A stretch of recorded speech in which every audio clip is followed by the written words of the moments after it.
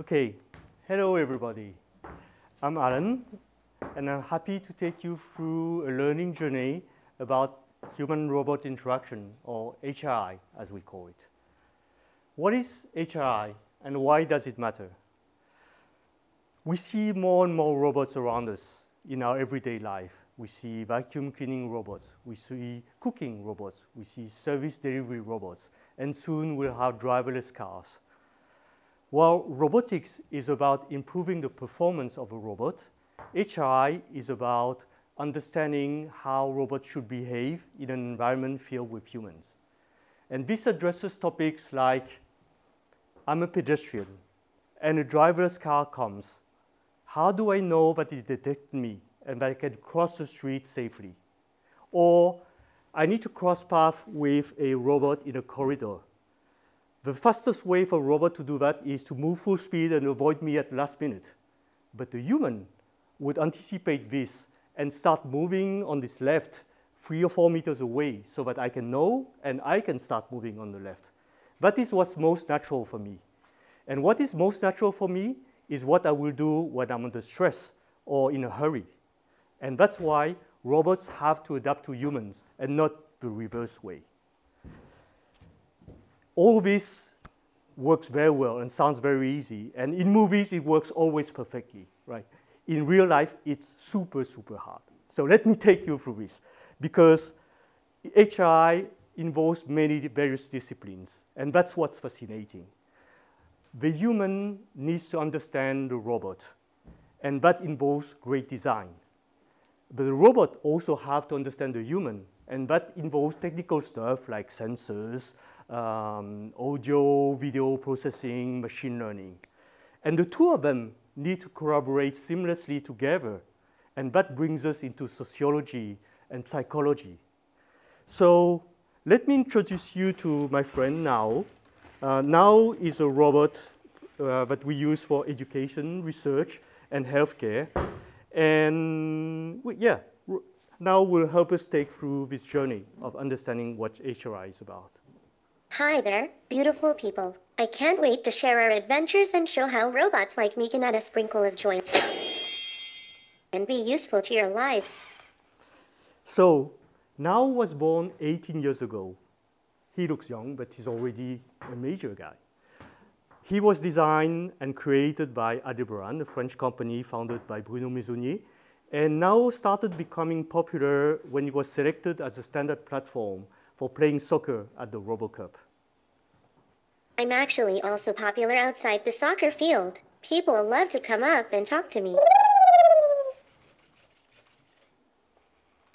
And in those 18 years with NAO, we've learned a lot about uh, robot behaviors and human behaviors and how they react to each other.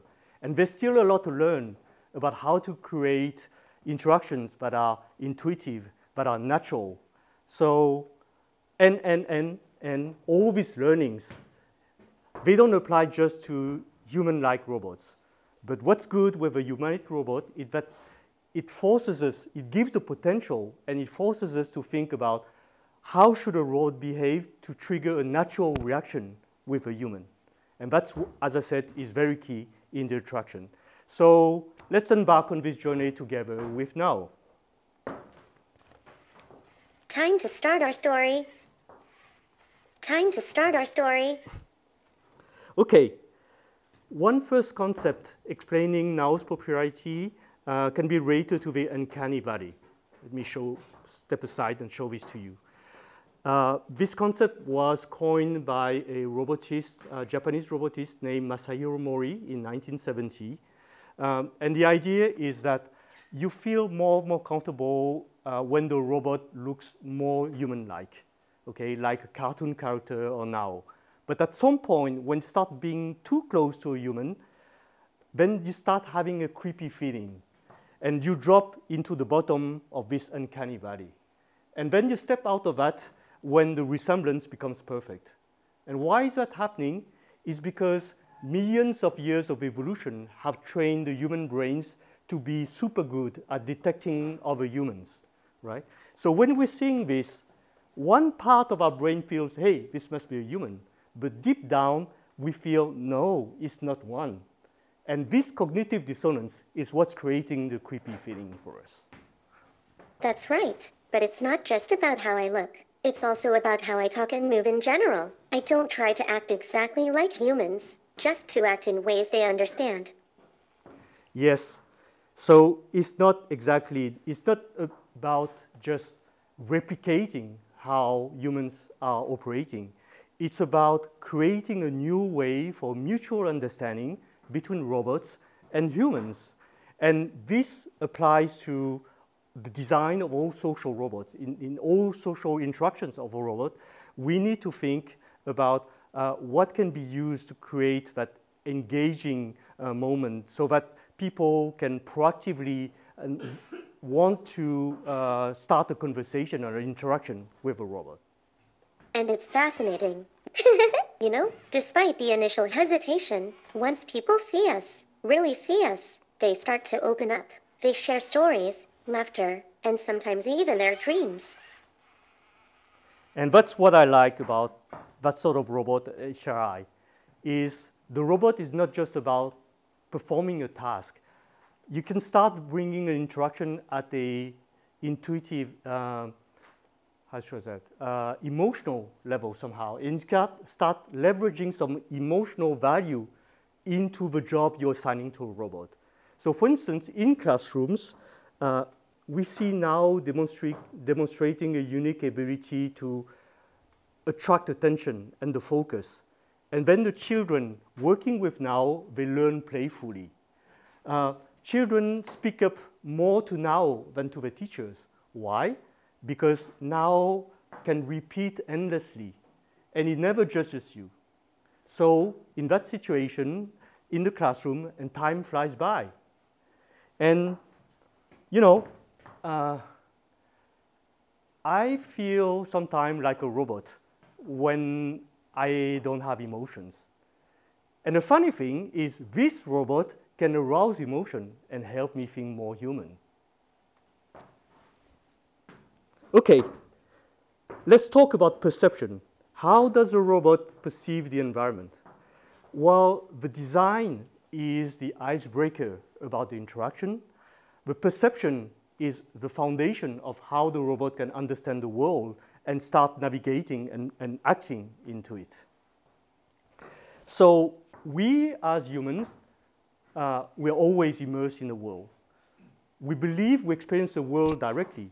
Actually, our senses capture an incredible amount of data all the time, but it's sent to our brain.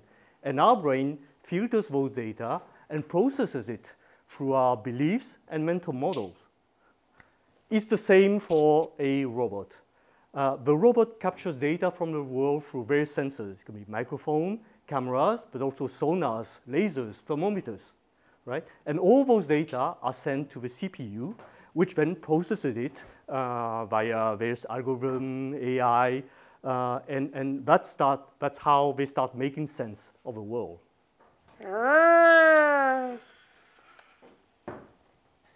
I see 307,200 pixels, and this tells me that 12.4% of the audience is not asleep yet, Alan. Hmm. So NAO you've been through an incredible path of developing that perception. Tell us more about what you went through.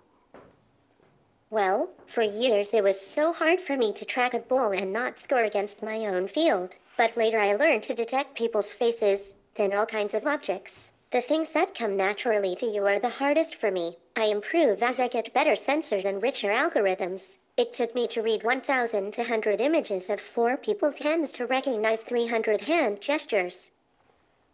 That's very impressive NAO. And can you tell us looking forward, what's, com what's coming ahead? What's in the future? The horizon glows with promise, Alan. I can understand this world better and better. I can now distinguish you from a cucumber. Most of the time. And that's why I'm not dressing in green. Though I don't seem like you, I can understand the world in my own way. This allows me to give feedback to rehab patients making me Europe's first social robot certified as a medical device. So that's a very interesting example of HI applied to resolving real-world problems. This started as a research project, and now it's a solution for rehab centers uh, for patients with neurological challenges. Uh, patients, especially children patients, engage more willingly when they're stimulated by NAO. They put more efforts in trying to do the exercise that is requested from them. And in the meantime, for the therapist, instead of doing those moves, the therapist can step aside and take time to look at what's going on, to observe how it's improving, and, and, and to uh, provide advices to uh, the position or, or, or correct what is not doing, done well. Okay, NAO with your improved sense of vision, can you go as far as telling us what come in the future and what we're going to talk about in the next slide? Yes. Let's dig further into the topic of interaction, conversation. Conversation. So we all know that uh, a good conversation is like a dance. It's about the art of mastering the unspoken rules of when to pause and when to step in. And that's no easy feat. See, not so easy. but conversation is also about the contents. What are we talking about? Now, are you able to hold a proper conversation now? From my soccer playing days, I've really broadened my horizons. Now, I can talk in many languages. And recently, I can use GPT-3 and GPT-4 to understand anything. So, you're powered by a large language model? Not quite. Mm, really? We went through my script just yesterday, remember? Uh, okay, okay, okay. So, coming back to conversation. Uh, another important part to master are the so subtle social cues, things like body language and tone. These are very important uh, to create a very natural conversation. Otherwise, I might sound too robotic. If you understood more the context NAO, could you become less robotics? So for instance, let's imagine you're in a library I'd be all whispers and quiet curiosity, making sure I'm just as serene as the pages of an old book. Okay, and now if you're in a party, would you be able to bring fun? Oh, I'd be the life of the party, telling jokes, playing games, and maybe even leading a robot to dance off. Yeah. So you see, it's all about adapting to the circumstance being able to say and do the right thing at the right time in the right place. And this is key for us uh, to develop the interaction in a way that is valuable and intuitive uh, for humans. With a little help from my IoT friends, I can make anywhere feel just right. Yeah! Oh yeah. IoT is how you may be able to extend your capabilities and grasp and action the environment even better. Would you like to invite them to your ne ne next TED Talk NAO? Sure, if I am invited again as a TED Talk speaker. Okay, we talked a lot about technological challenges, but let's remind of users robots have a promise to relieve humans from tiring tasks, from repetitive tasks, to take away things that create uh, troubles and pains for us, right? Um, but that promise is limited as long as you need an engineer to set up the robot. You need an engineer around you to operate the robot. So making it simple and natural is very key to make it accessible to everybody. And that should be the promise of robots. Exactly, Alan. I should be the one adapting to you, not the other way around. Okay. From technological side, we're about, we're close and about and progressing to manage most challenges. Robots become better and better at navigating in an unstructured environment, like a home. Uh, they become better and better at grasping objects. And machine learning is helping them to recognize objects around them so they can make sense of what is happening. And the natural language interaction is coming up more and more, right? The big next challenge that we see may be more a philosophical question. How autonomous do I want the robot to be? And we at United Robotics Group have a clear position about that. We feel that the robot should not try to become its own autonomous thing, right? It should be a tool, something that serves the human. We define a job for them. The human should always be in a driver's seat. It should control. It's fine and it's great if the robot is autonomous and keeps developing on its own and learns within the job that we assign to them. But I don't want the robot to overstep that job because then I would feel in danger, okay? Uh, having the robot kept and developed and, and action within their job is key to giving me the trust I need uh, to have that robot operating every day next to me and supporting me. So we've been through a long journey uh, about HRI. We're seeing promises in the future. Um, and thank you very much NAO uh, for taking us through this path. And, and we want to continue a long way with you. And thank you, everybody, uh, for listening and helping us to dream this future. Mm.